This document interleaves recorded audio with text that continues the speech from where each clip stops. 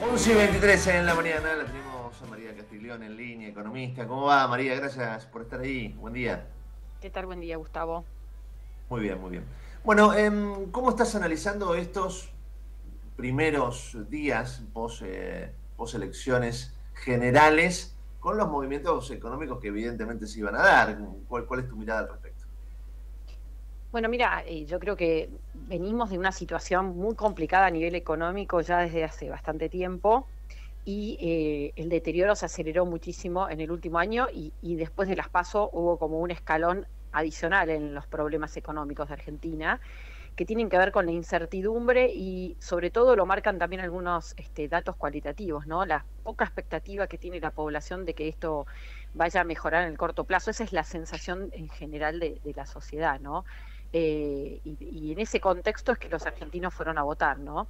Así que claramente lo que se veía en, incluso el fin de semana, ¿no? Parecía que, que, se fuera a terminar todo, ¿no? La gente yendo al supermercado eh, masivamente, y esto tiene que ver con la idea de que los planes que el gobierno, va, si los podemos llamar planes, las medidas que el gobierno ha ido tomando en estos cuatro años han sido siempre parches y cada vez con un menor plazo de duración, ¿no? ir tratando de sostener para evitar que eh, la inflación se acelere más, para evitar que el tipo de cambio aumente más. Y la verdad es que los resultados cada vez han sido peores, ¿no? Entonces, me parece que eso es lo que, lo que ha ocurrido y es producto de los desequilibrios macroeconómicos que se fueron acumulando, que básicamente son responsabilidad del gobierno, ¿no? De La idea de que el gobierno tenía, puede aumentar infinitamente el gasto público, este, aumentando los impuestos, teniendo déficit y financiándolo con deuda y emisión monetaria y eso obviamente llegó, llegó a un problema enorme, ¿no? Y cada vez para frenar las consecuencias se han ido poniendo cada vez más cepos, controles y trabas que generan estas distorsiones que las vemos como algo insostenible porque además se termina canalizando en, en, lo que es el Banco Central con cada vez más pesos y menos dólares, ¿no? Entonces, e, esa sensación está hoy. Lo que vemos es que este, este, después de una semana de virtual parálisis, ¿no? Con, agentes de AFIP incluidos que están también hoy dando vueltas, el mercado de dólar financiero del blue estuvo muy parado eh, y hoy vemos que esa presión sigue estando presente, ¿no? La idea de la gente yendo a canjear sus pesos por por dólares porque lo percibe como, como un refugio o cambiando los pesos por, por cosas, ¿no? Por, comida, por lo que sea, ¿no? eso se ve, se sigue viendo claramente eh, estos días, ¿no? María Cristina, ¿cómo te va? Raúl Vázquez te saluda, es un, placer, muy bien. Vos sabés que, bueno, te escuchaba y, es claro, ¿no? Eh, uno se pone a analizar y de alguna manera, mm, no sé, vos dirás si es así, pero yo siento que los argentinos venimos Em, experimentando desde hace bastante tiempo, años obviamente, una, un, problema económico, una situación económica que estamos siempre al borde, al borde de una crisis terminal y que se acaba todo y está todo complejísimo. Eh, eh, es un proceso de deterioro realmente grande, ¿no? del modelo económico, del bolsillo, de las expectativas, la incertidumbre crece. Eh, pero digo, al mismo tiempo, volvemos a ese viejo apotegma que hemos escuchado una vez cuando estaba este, el gobierno demócrata en los Estados Unidos de Clinton, esto de es la economía estúpido. Aquí no, no pasó eso, aquí no es la economía estúpido, evidentemente, pero ¿por qué? Digo, ¿qué ha pasado? Eh, eh, Patricia no supo comunicar su plan económico, lo comunicó mal, mi ley este, se apoderó de él. ¿Qué es lo que pasó para que ante este eh, enorme problema económico que tenemos de años, haya sucedido lo que sucedió, ¿no?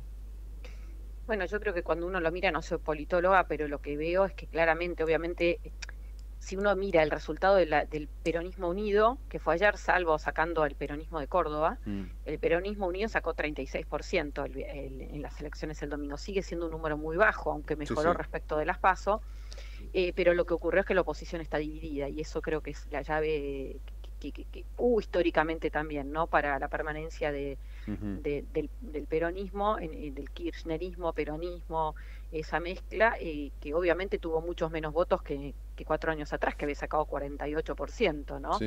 Eh, así que e, este es un dato, el tema es la división de la oposición, eh, que esto viene de hace tiempo, pero se, se canalizó a través de, de mi ley, que surgió hace dos años, pero que bueno, evidentemente marca que había un sector de la oposición que, de los votantes, por lo menos que no se sentían tan identificados con algunas cosas y bueno, lo canalizaron a través de, de mi ley. Eh, eso es lo que te podría confirmar. No, se ve, de hecho, un optimismo en la sociedad votándolo a masa, incluso entre los que lo votaron. tal vez la campaña del miedo último tiempo sumó a algunos que tal vez habían o no votado o votaron a, votaron otras opciones, pero la realidad es que cuando uno mira eh, el porcentaje de votos que tuvo es un piso bastante eh, histórico. La, pregunta es, este, como decía recién, bueno, ¿por qué la oposición estuvo dividida? Y eso ya es un tema que excede la economía, ¿no? Pero eh, mi ley creo que canalizó mucho la bronca y la frustración, sobre todo de los más jóvenes. pero la realidad es que cuando uno mira la división de la oposición siempre es funcional a un kirchnerismo que tiene una base de votantes a los cuales le han puesto candidatos que no los representaban, pues no se sientan representados por Massa, antes tampoco por Scioli ni por Alberto Fernández y lo votan igual, ¿no? Entonces, creo que eso, eso es lo que ocurre. No es que hay un optimismo, una expectativa muy buena respecto de haber votado a Massa. Eh, no, esto no es así. De hecho, en la primera vuelta no llegaron el 29% de los votos y muchísima gente no votó. Eh, y en las provincias se ve una conducta diferente, ¿no? Donde paradójicamente la oposición creció muchísimo en representación. Me parece que cada uno está en sabe, sálvese quien pueda, ¿no? Eh, María, vos, fíjate qué curioso en, lo macroeconómico y en lo mini, ¿no? Vos decías, en, las historias particulares, la gente se viene a la elección, va desesperadamente, me tocó cubrirlo y, estaba conduciendo el, sábado pasado cuando las imágenes en, los mayoristas y en los supermercados eran, eran de locos, ¿no? Cuadras y cuadras de, cola, ¿no? no encontrabas un changuito, esto está claro. Después, a, nivel macro, llegan las elecciones y, no hay confianza en nadie, porque vos fíjate, uno dice, bueno, gana el gobierno, la cosa tendría que estar un poquito calma, no, gana el gobierno, sube el dólar. Si hubiera ganado Milei, no sé a dónde hubiéramos ido, digamos. Si hubiera ganado Patricia, también todo se va. O sea, nada responde favorablemente. Sí, bueno, porque pasa es que venimos de una crisis, cuando uno mira los datos este, macroeconómicos, la economía argentina no crece en promedio desde 2011 y como vemos ya pasaron muchos años, ya son 12 años, lo digamos la población crece, entonces por habitante lo que está pasando es que hay un 11% menos de valor agregado de PBI en términos de volumen y eso explica por qué la gente está cada vez peor, o sea, gente mm. que trabaja, que no llega a fin de mes, eh, cada vez hay más empleo de changas o informal eh, mezclado con planes, digamos. E, esto a la larga cada vez da menos resultados, entonces eh, eh, por eso la gente no está contenta y por eso aunque vota, vota, digamos, no vota convencida, no vota con esperanza, y esto es algo que se está viendo ahora, ¿no? Muy marcado en esta elección, y la sensación es que obviamente así no se puede seguir, pero tampoco está muy claro cuál va a ser el, camino.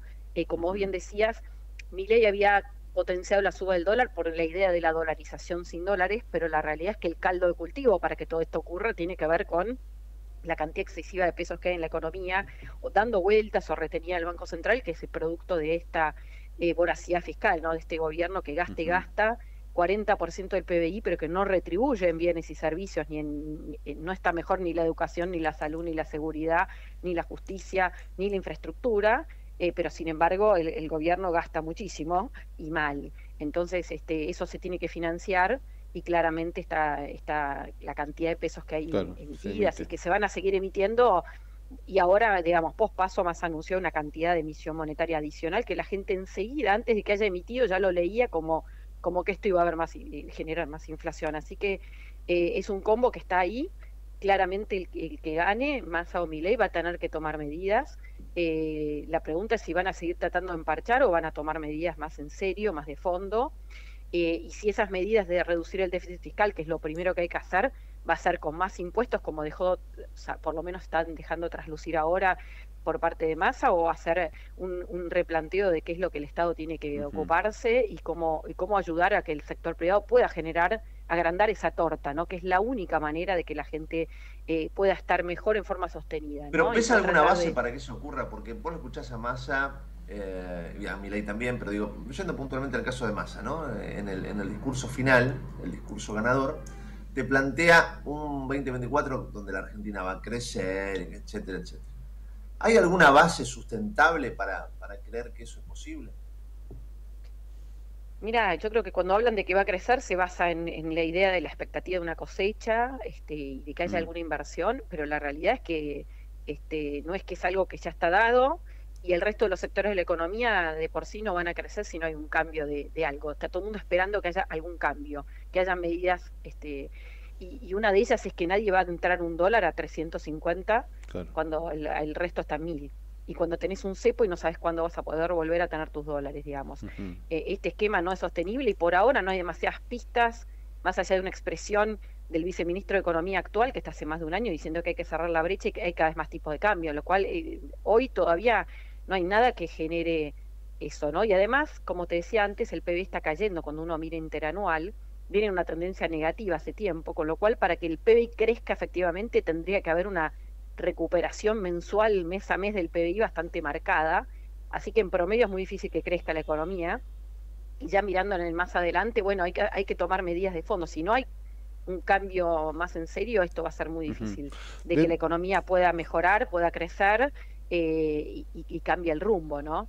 Dentro de estas medidas este, que no son de fondo, claramente, que, que responden a una coyuntura y que hemos vivido casi a ver, responden casi a una coyuntura política con la necesidad de ganar votos, ¿no? Hemos visto eh, la, idea de no pagar IVA, el hecho de no pagar ganancias. Eh, nosotros hemos dicho más de una vez que eso era un caramelo envenenado que uno saboreaba y que no sabíamos cómo podía terminar. Y ayer se anunció eh, de alguna manera una especie de dólar para, para varios rubros, ¿no? Para todos los rubros, un dólar agro. Eh, para generar un mecanismo de exportaciones con un precio un poco más alto. ¿Esto es parte de una coyuntura o es parte de algo que puede empezar a resolver o es más de lo mismo? La verdad que es, eh, yo te diría que es, un, es intentar dar una señal, pero es devaluar sin devaluar, dar un tipo de cambio un poco mejor, pero a la vez la brecha es tan grande ya con respecto a ese dólar mejorado, respecto de los otros dólares, que tampoco tengo claro si eso va a generar algún efecto demasiado fuerte en, en el exportador, que a su vez eh, las importaciones en teoría están a 350, pero como están todas trabadas, eh, el dólar efectivo de que paga el importador no es ese. Hoy está todo desquiciado. O sea, el sistema de precios, que es el que tiene que regular, digamos, las decisiones de la gente, no está funcionando. Está cada vez más emparchado, ¿no? Encontramos precios de un mismo producto, precios justos y no precios justos, que son, uno es un tercio del otro. Coca-Cola, perdón por una marca, ¿no? Allá en el supermercado, la que está en precios justos a un precio y el otro es tres veces más caro. Los yogures lo mismo. O sea, es algo que no puede, no, eh, digamos, si uno lo quiere prolongar en tiempo, vamos a encontrar escasez, vamos a encontrar este freno de inversiones y de toma de decisiones. O sea que me parece que esto es totalmente transitorio. La gran pregunta es si eh, el que gane tiene en su cabeza, o por lo menos el ministro de Economía tiene en su cabeza si ganarse algún plan económico. Hoy por ahora no lo, no lo está viendo. Justo, justo es parte de lo que yo te quería consultar.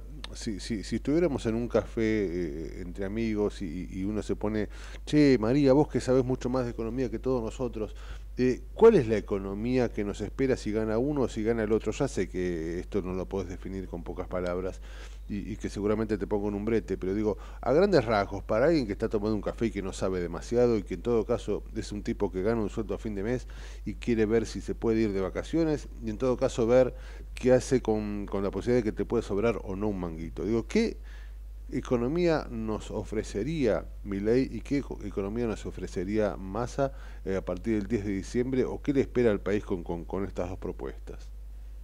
yo te diría, más allá de lo que propone cada uno, creo que el corto plazo va a ser muy difícil, porque como ya está siendo muy difícil, ¿no? Está siendo muy difícil, muy complicado. Me parece que esto no va a cambiar. La pregunta es si esa complicación, esta alta inflación que vamos a seguir teniendo, eh, este ajuste del tipo de cambio que en algún momento va a haber, va a ser ordenado, va a ser desordenado, mm. va a ser corrigiendo los problemas de fondo o va a ser eh, poniéndole más la pata encima al sector privado. La pregunta es esa, creo yo. Algo así, así como estamos, o sea, pensar que la inflación la podemos controlar a 10% mensual es imposible, o sea, eso no es controlable, es un fenómeno que es una respuesta, una reacción, y si no se logra eh, generar una credibilidad, un cambio de expectativas de que se están tomando las medidas para corregir esto, es muy difícil, es, un, es un digamos, un, fenómeno muy difícil de, de manejar, ¿no? Entonces, Creo que en cualquier caso, lamentablemente, va a ser un panorama muy complicado. Eh, la pregunta es si este sufrimiento que tenemos todos los argentinos con inflación, con falta de proyectos, con falta de horizonte, es transitoria y es porque se están corrigiendo los problemas o no.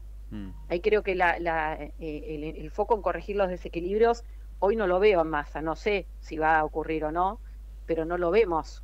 De hecho, él es el que está llevando el timón del país prácticamente hace un año, ¿no? Eh, y, lo que estamos viendo es puro cortoplacismo, ¿no? Eh, la verdad, no te sabría decir, porque hasta ahora no lo ha deslizado, si tiene realmente intenciones más allá de pequeñas correcciones. Yo creo que las pequeñas correcciones no, no alcanzan hoy eh, y, hay que hacer algo mucho más profundo. La pregunta es si está dispuesto a hacerlo, ¿no? Sin duda, sin duda. Veremos qué, qué, va pasando, pero evidentemente esto es día a día. María Castiglioni, gracias por este contacto. No, de nada. Gracias, a ustedes. Buen día. La economía, es la economía. Es la este economía. país, ¿eh? Eh, gane quien gane, vos sabés que el dólar va a subir. sí, sí. Sí, sí, sí. Y todos te responden lo mismo, ¿no? Lo difícil que va a ser gane quien gane y lo que se viene, este, si ya es duro lo que vivimos, imagínate lo que se viene, ¿no? Sí, e, es increíble, viste que no, con todo lo que tenemos, los economistas no encuentren una luz al final del sí, Por Dios, sí, sí. Decir que le vamos a ganar. ¿A dónde nos han dejado? ¿A dónde nos han dejado?